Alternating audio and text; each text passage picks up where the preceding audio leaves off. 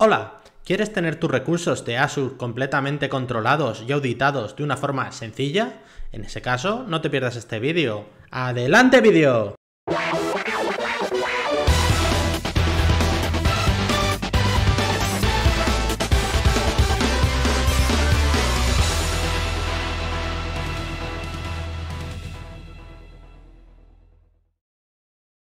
Hola doneteros, bienvenidos de nuevo a mi canal, soy Alberto Picazo, en esta ocasión para ver lo que os he comentado en la intro, una aplicación que nos va a ayudar a hacer la auditoría y saber cuántos recursos tenemos y qué recursos, de qué tipo, toda la información que os podéis imaginar, pues todo eso nos lo va a dar esta herramienta. Se llama Azure Resource Inventory y está en esta ruta de GitHub que la vais a tener en la descripción del vídeo lo primero que hay que hacer es descargar el, o clonar el repositorio, ¿vale? Yo ya lo tengo clonado en una carpeta, ¿vale? Con lo que lo tengo aquí.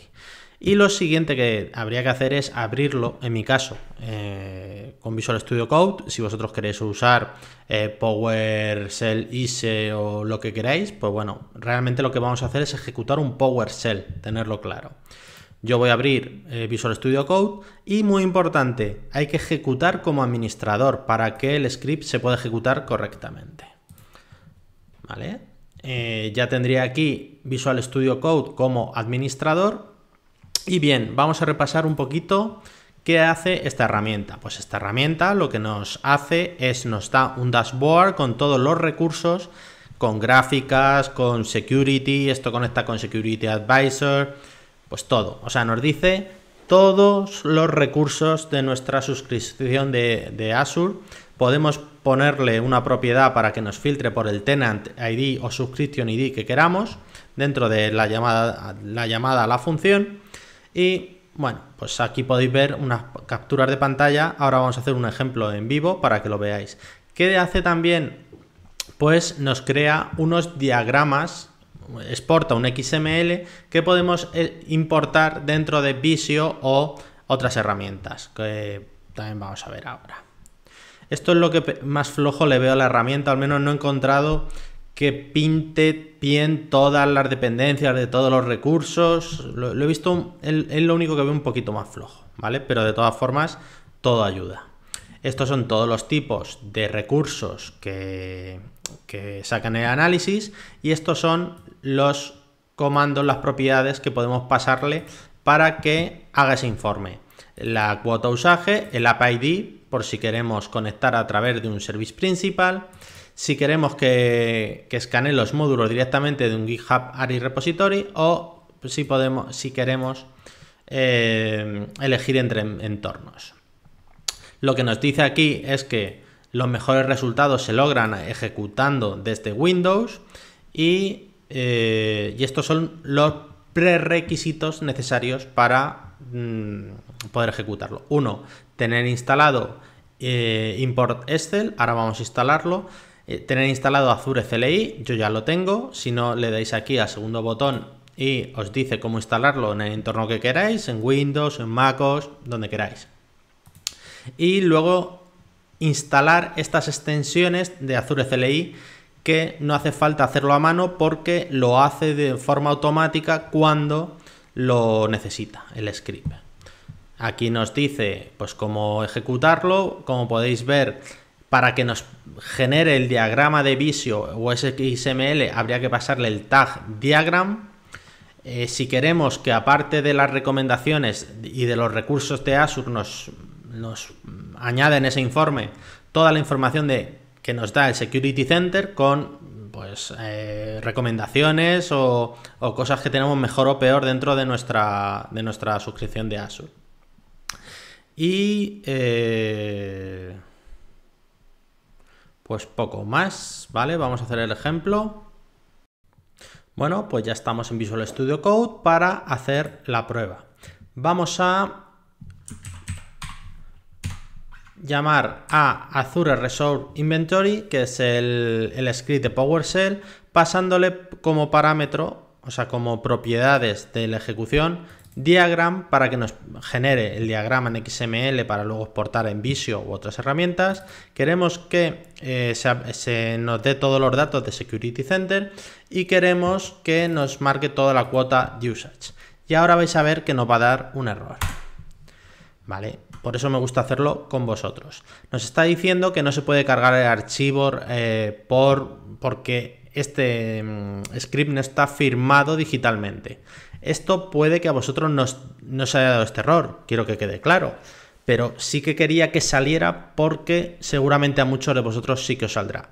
¿Cuál es el problema de esto? Pues que PowerShell de base, mm, cuando se instala en un ordenador nuevo, pues viene marcado como que eh, para que se ejecuten los scripts tienen que estar todos firmados, ¿vale? Hay varios estados, agencia de PowerShell para que se ejecuten esos scripts y yo lo tengo marcado como All Signed. ¿Cómo se podría revertir esto? ¿Cómo podríamos cambiar esto para que no nos dé error? Vamos a abrir una ventana de PowerShell como administrador, ¿ok? Como administrador, porque si no, no nos va a dejar. Y vamos a copiar, que lo tengo por aquí a mano, esto. Vamos a poner este comando set execute policy y lo vamos a poner en remote signet. Nos va a decir que la directiva de ejecución ayuda a protegerte. Y eh, eh, sí, pues sí. Y ya estaría. Ahora, si ejecutamos de nuevo el get execute policy, eh, no me lo ha cambiado.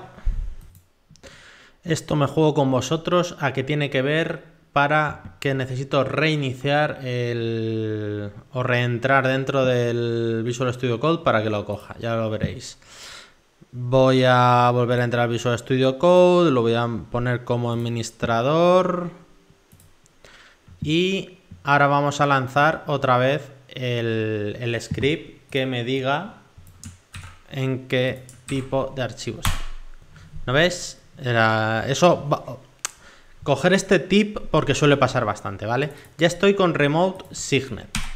Ahora vamos a volver al lanzar el Azure Resort Inventory y le damos a el diagrama. ¿Qué va a hacer esto? Primero me debería levantar mi ventana de, autentificación si no estuviera autentificado, es decir, yo si ya he estado por Azure Portal, eh, yo ya tengo mis credenciales metidas, pues esto eh, identificará en qué tenant eh, estoy logado y cogerá toda la, información por esas credenciales. Perdón, que me he quedado tostado. ¿Se necesita proveedor de nuggets para continuar? Pues si se necesita, pues habrá que darle, ¿vale? Él está haciendo aquí sus operaciones y ahora el resultado de esto va a ser, si no nos salen más errores, eh, ya os digo que yo quiero hacer todo esto sin tener nada instalado con vosotros porque realmente os, a vosotros os pueden pasar estas cosas si no sabéis eh, utilizarla. Aquí lo que os decía, si yo ya hubiese estado logado, pues no me pediría estos datos, pero me está diciendo sobre qué datos quieres eh, hacerlo. ¿Vale? Como veis, y es una buena práctica, tengo un doble factor de, autentificación en MFA y esta parte ya la podría cerrar. Aquí me está diciendo que solo tengo privilegios en un tenant, con lo que él va a seguir haciendo sus operaciones. Si os dais cuenta, yo no he tenido que instalar nada. El, Excel Inventory, el, módulo, lo he hecho automáticamente y todas las extensiones de account y la otra, que no me acuerdo cuál era la que pedía, pues no lo ha hecho automáticamente. Con lo que ahora solo es esperar un poquito a que se genere el informe y ahora lo veremos, con lo que voy a pausar esta parte. Ya ejecutado, ya se ha ejecutado. Lo que nos ha dicho es, lo que nos dice aquí es que ha guardado tanto el, X, el, el Excel, el XLSX, perdón, y el, y el Visio, el XML para generar el Visio en estas rutas. ¿Vale? Pues nos vamos a esas rutas, vamos aquí a C y Azure Resource Inventory aquí. Y como vemos, ha generado tanto el Excel como el XML. Ahora vamos a ver cómo accedemos a ese XML.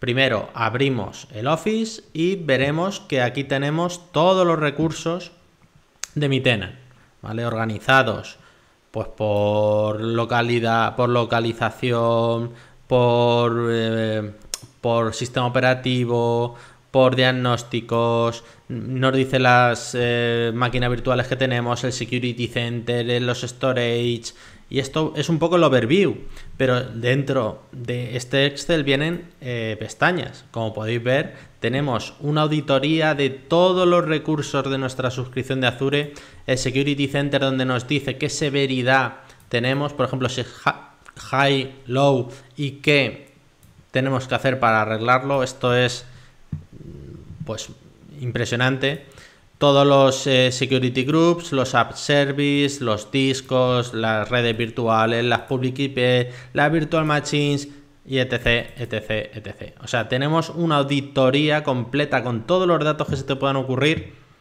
eh, y nos ha costado, ¿qué? Cinco minutos eh, tenerlo. Pues imaginar la potencia que nos puede dar esto para tener auditadas y saber qué recursos tenemos en nuestras suscripciones de Azure.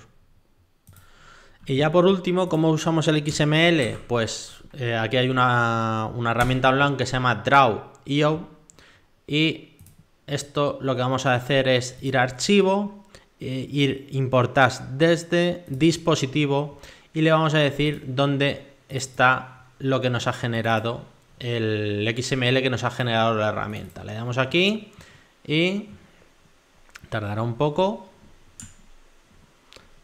pero veis que ya me ha pintado algunos recursos, ¿vale? De las suscripciones y todo esto.